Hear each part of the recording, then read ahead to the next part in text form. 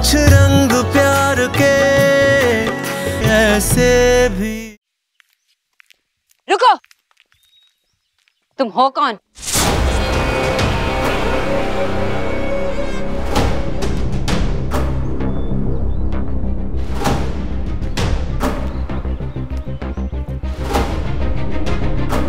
तुम ये सब छोड़ो।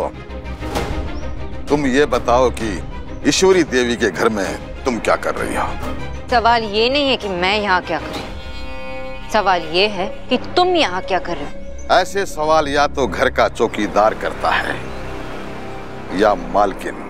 मालकिन तुम हो ही नहीं सकती और चौकीदार तुम लगती नहीं हो। तुम कौन हो? मैं इस घर की बहू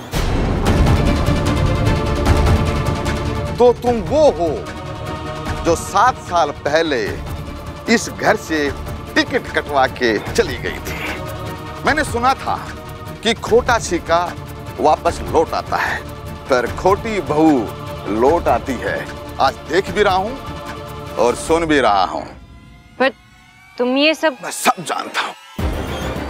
इस घर के बारे में दीक्षित परिवार के बारे में ए टू जेड जानता हूँ। तुम सीधे सीधे बताओ कि तुम्हारा नाम क्या है। और तुम ये सब कैसे जानते हो?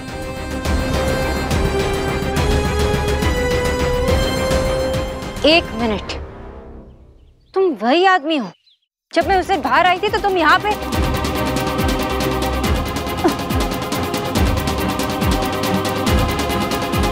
सोना? जतिन? क्या हुआ? इस टाइम पे कहाँ भागी जा रही तू? क्या? वो आदमी कौ, कौन आदमी? सोना कोई भी तो नहीं है वहाँ पे। आके तुम चाहते क्या हो? जो मैं चाहता हूँ वो तो बहू जी मैं ले ही लूँगा। पर एक बात का ध्यान रखना तुम इस मामले में ना पड़ो तो तुम्हारी सेहत के लिए बेहतर होगा। और अगर मैं पीछे ना हटूं तो? तो तुम बेकार में ही जैसे गेहूँ के साथ घुन पिस जाता है वैसे पिस जाओगी। मेरा तुमसे कोई बैर नहीं है। मैं तो तुम्हारी सासू माँ ईश्वरी देवी से राम राम कहने आया था पर वो दिखाई नहीं दे रही है। शायद कहीं बाहर गई होगी। जब वो आए तो उन्हें बता देना कि उनसे मिलने कोई आया था।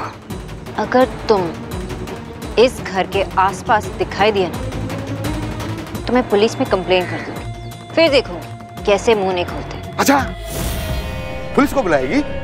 बुला बुला! पर एक बात का ध्यान रखना अगर पुलिस को बुलाए तो मुझसे ज़्यादा ईश्वरी देवी की बदनामी होगी।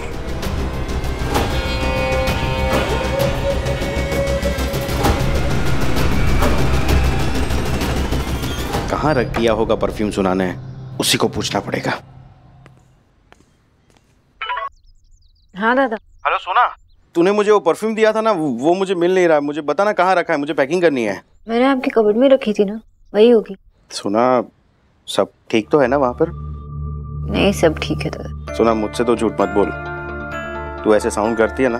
तभी कुछ नर्वस होती है टेंशन होती है तभी। बता क्या हुआ है वरना मैं वहाँ आ जाऊँगा। नहीं दादा। बस यहाँ पे कुछ गड़बड़ चल रही है और मुझे समझ में नहीं आ रहा कि मैं क्या करूँ। क्या हुआ है सोना? दो बार मैंने एक आदमी को घर के अंदर जागते हुए देखा और उसे पकड़ा उसे कन्फ्रंट किया। और फिर उसने कहा कि उसे आंटी जी से काम है। उसने मुझे धमकी भी दी कि मुझसे दूर रहो। क्या? सोना तूने देव बाबू को बताया? आई I मीन mean, उनकी मॉम को या नहीं दादा मैं देव को अभी नहीं बता सकती। और आंटी जी तो यहाँ है नहीं। इसलिए मैं सोच रही हूँ कि पहले खुद पता कर लूँ कि सच क्या है और फिर उन्हें बता दो। तुझे इन सब में पढ़ने की ज़रूरत नहीं है। वो उनकी लाइफ है वो देख लेंगे उन्हें क्या करना है। दादा देव की फैमिली में तो मेरी फैमिली सोना आपका कंसर्न सही है दादा। वो डोंट वरी मैं मैं ख्याल रखूँगी आई प्रॉमिस आप बस अपनी ट्रिप पे फोकस कीजिए। ओके मैं आपसे बाद में बात करती हूँ। सुना मेरी बात तो सुन सुन सुना। हो गया? मिला तुम्हारा परफ्यूम नहीं वो सुना ने कबर्ड में ही कहीं रखा है मैं बस अभी चेक कर रहा हूँ। शौरभ मैं बहुत एक्साइटेड हूँ इसको लेके। हाँ मैं भी। क्या? हाँ मैं भी। तुम एक्साइटेड नहीं हो क्या? कैसे एक्साइटेड नहीं हो? आई I मीन mean, हमारा हनीमून है और हम जाएँगे। मैं अभी आती हूँ।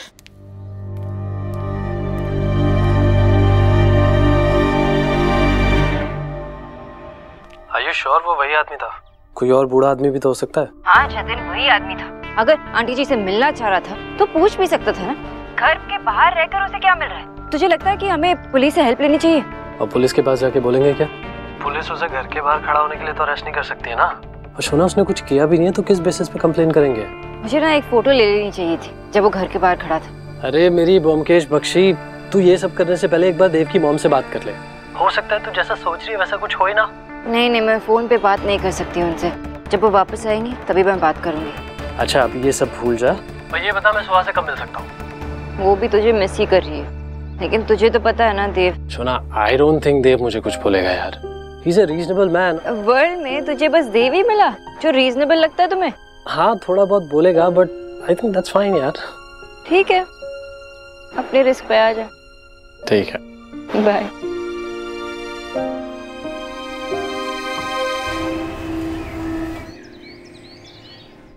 बैठे बैठे बोर हो जाती है। आई एम श्योर यार। अच्छा हुआ तूने मुझे बुला लिया। मैं फिक्स कर बेस्ट फ्रेंड्स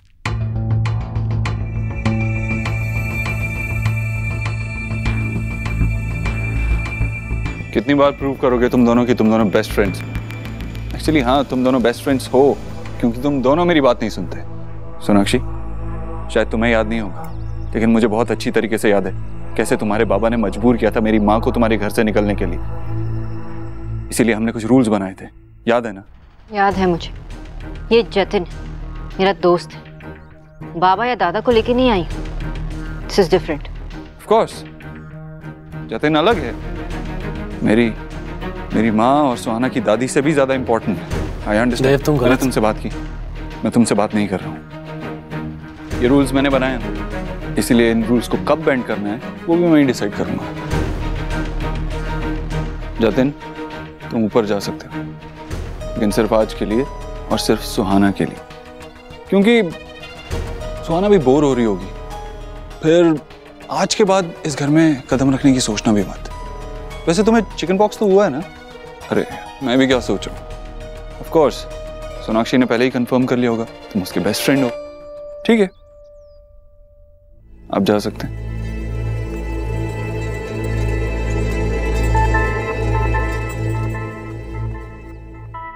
तुम सुहाना के लिए कुछ करो या ना करो, मैं उसके लिए कुछ भी करने के लिए तैयार हूँ। लेकिन याद रखना, आज के बाद मेरी इजाज़त के बगैर इस घर में किसी को लेकर मत आना। याद है ना my house my rules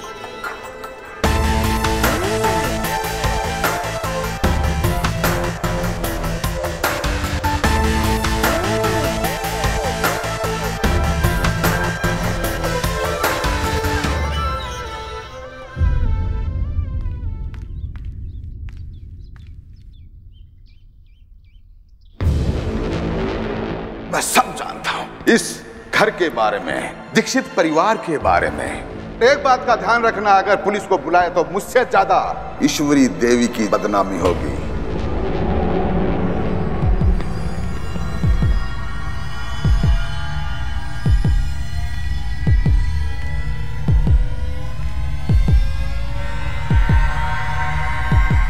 Sorry aunty ji. लेकिन मुझे ये करना ही पड़ेगा।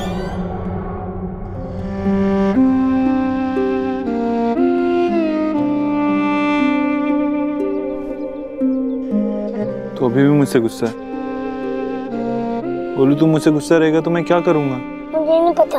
अब मैं सब प्ले भी नहीं करती तो अब ये भी सोना से पूछ लो ना। गोलू मैं तेरे साथ इसलिए नहीं खेल पाया क्योंकि सुहाना की तबीयत ठीक नहीं है ना। उसकी वजह से मेरा मूड भी ठीक नहीं था। वरना हम बहुत मस्ती करते। पता है मैंने कितना कुछ प्लान किया था कि हम तीनों मस्ती करेंगे खेलेंगे। सच में? हम लोग साथ में मस्ती करते। और नहीं तो क्या? बहुत मस्ती करते। बस सुहाना की तबीयत ठीक हो जाए। और जैसे मैं सुहाना के बगैर नहीं रह सकता वैसे तेरे बिना भी तो नहीं रह सकता। तो तू मेरा बेस्ट फ्रेंड है ना? बस तो ऐसे ऐसे स्माइल किया कर तू गुस्सा होता है तो मुझे कुछ भी अच्छा नहीं लगता। ठीक है? तो हम लोग प्ले करें? ओके बता कौन सी गेम खेलनी पीछे चलो। लेकिन गोलू कहाँ? वापस चलो। नीचे हम सुहाना के साथ प्ले करते वो भी तो बोर हो गई होगी ना? लेकिन गोलू हम अंदर नहीं जा सकते। मैंने सुहाना से प्रॉमिस भी किया तो हम लोग अंदर नहीं जाएँगे ना बच्चा? हम यही खड़े होकर सुहाना के साथ प्ले करते। हैं यहाँ खड़े होकर? कैसे? अब सुहाना को डोर तक बुला लो। सुहाना अंदर से प्ले करेगी और हम यहाँ से। हम लोग लेडर्स वाला गेम खेलेंगे ना? Actually not a bad idea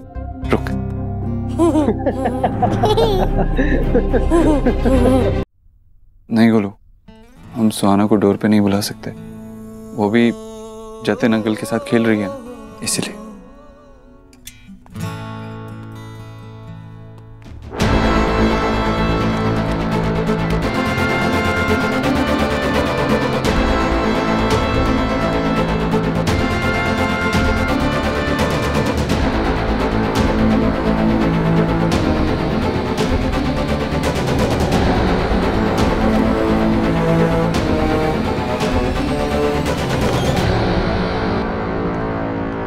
सोना।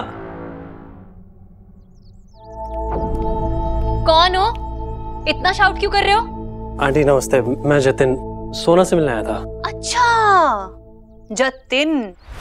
ओहो हो हो। सम डेज़ भी नहीं रहा गया सोना के बिना।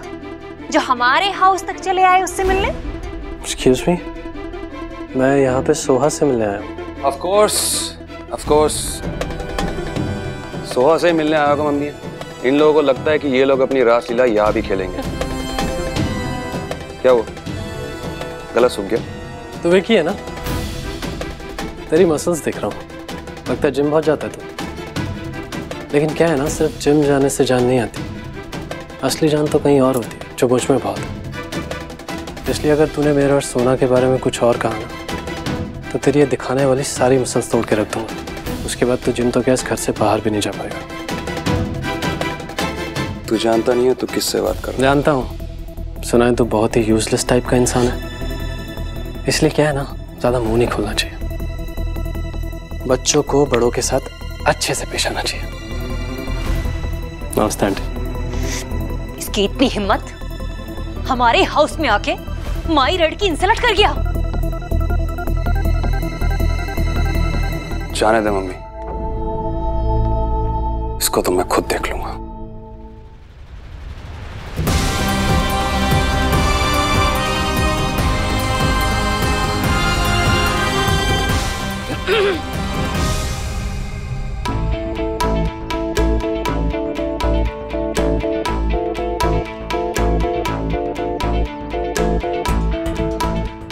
यहाँ क्या कर रही हो?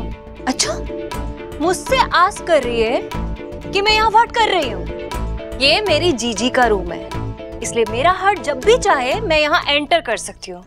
तुम बिना पूछे कैसे एंटर किए यहाँ वो देव के बचपन के फ़ोटोज़ देख। ओ देव से पहले लेसर ड्रामा कर रही हो? जब फ़ोटो देख के लव का भी ड्रामा करना है?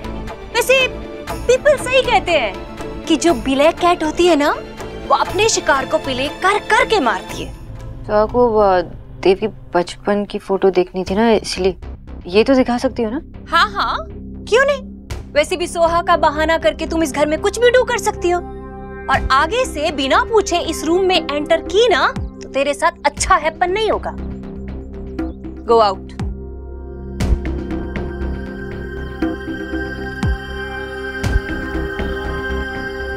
मैं ये फ़ोटो। मैंने टेल किया ना। गो आउट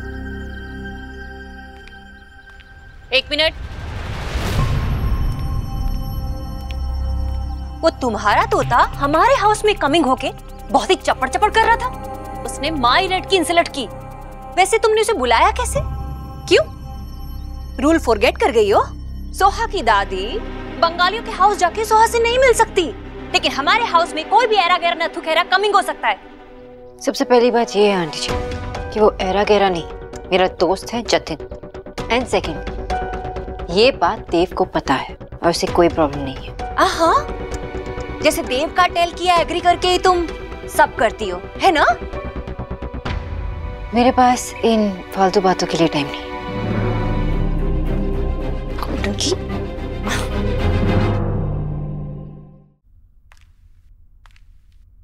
सोना हाँ। मुझे तुझसे कुछ बात करनी है। हाँ बता। बैठकर बात करें।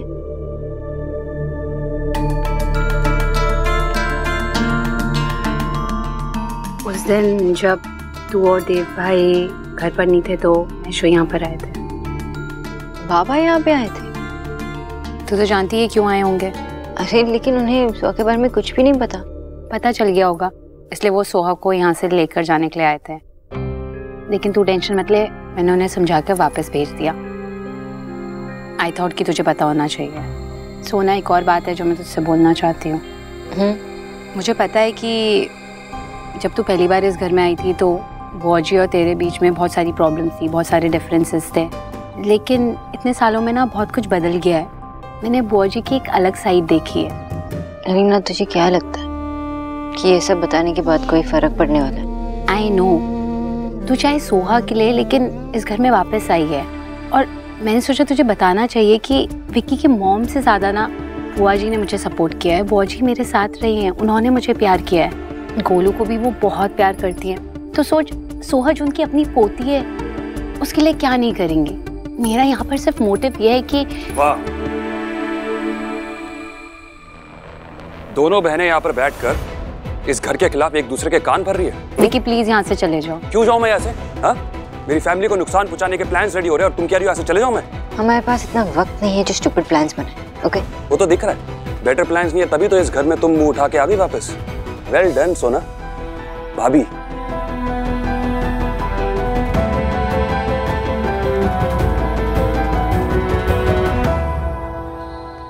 फ़र्स्ट गिफ्ट लाया हूँ मैं इससे मुझे अच्छे से कहीं छुपाना होगा।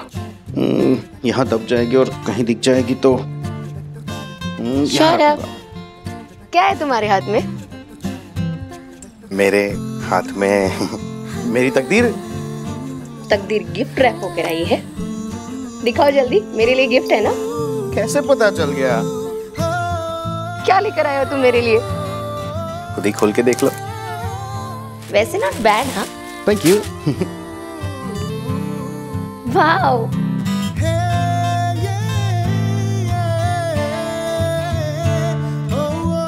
लेकिन मैं ये नहीं पहन सकती सौरभ कैनो? आई मीन क्या प्रॉब्लम है इसमें? प्रॉब्लम मैं मैं खुद हूँ। सौरभ ऐसी ड्रेसेस मेरी जैसी लड़कियाँ सिर्फ़ विंडो शॉपिंग में देख सकती हैं पहन नहीं सकती। तुम्हें तो मेरी साइज़ पता है। तो अगर मैं इसे पहनूँगी तो बहुत ही स्टूपिड लगूँगी। लोग मुझ पर हंसेंगे।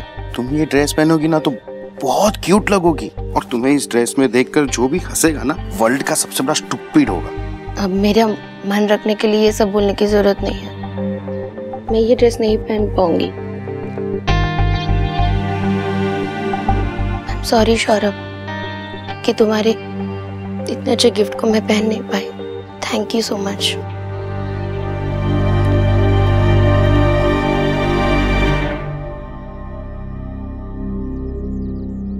कुछ हो या ना हो लेकिन उस आदमी का कनेक्शन दीक्षित फैमिली से ज़रूर है।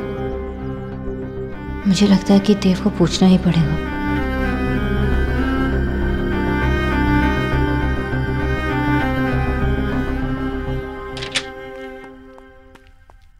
फाइनली तुम्हें तुम्हारी बेटी के लिए टाइम मिल ही गया। कॉफ़ी पियोगे? मैं अपने लिए बनाने वाली थी। तुम भी पियोगे? कॉफ़ी? हाँ कॉफ़ी। कोको बीन से बनती है। पहले उसे तोड़ते हैं फिर पाउडर बनाते हैं फिर उसको दूध में मिलाते हैं। चुप। मुझे पता है कॉफ़ी क्या होती है। तो पियोगे? तुम मेरे साथ कॉफ़ी पियोगी? कोई तुम्हारे साथ कॉफ़ी नहीं पीता अभी? सो सैड इसलिए कहती हूँ कड़वी बातें किया मत कर। अब बोलो पियोगे? ओके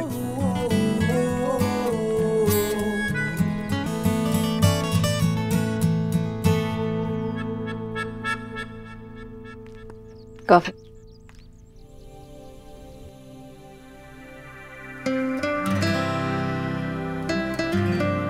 बैठोगी?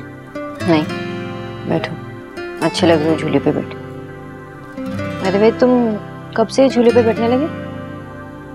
मुझे तो लगा तुम इससे भी बाहर निकालोगे जैसे मुझे बाहर निकाला था। निकालना चाहता था लेकिन निकाला नहीं। क्या है ना? बाहर निकालने की आदत तुम्हारी है मेरी नहीं।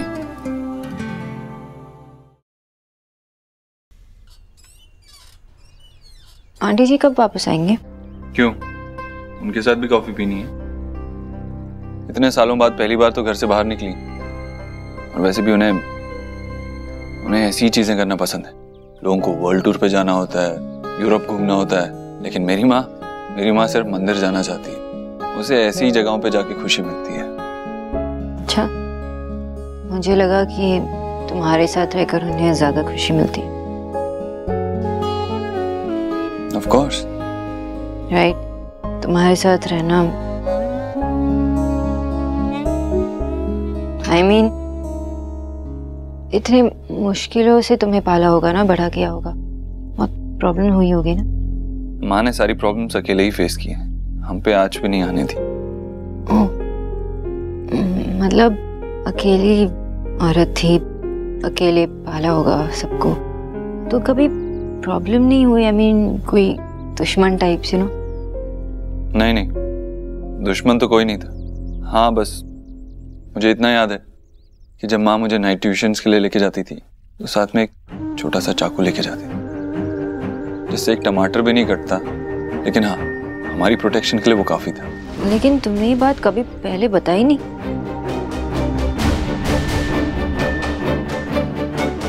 मतलब कभी भी कोई दुश्मन नहीं था। तुम ये सब क्यों पूछ रही हो?